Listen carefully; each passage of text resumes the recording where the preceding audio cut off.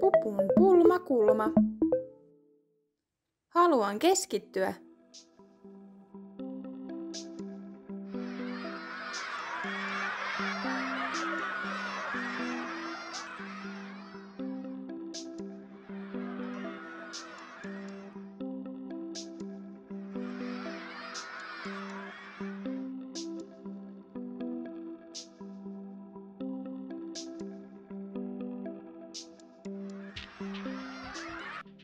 Tosi vaikea keskittyä, kun on niin meluisa.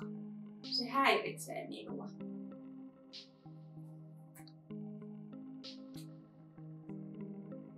Täällä on usein tosi meluisa.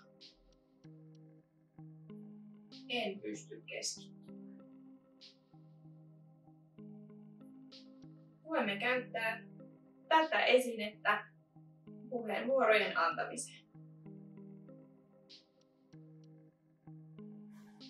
Kun esine on kädessäni, on minun vuoroni puhua.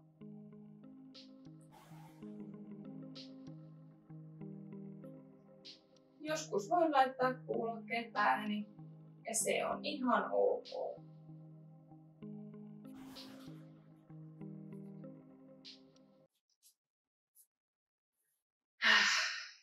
Nyt voin keskittyä paremmin.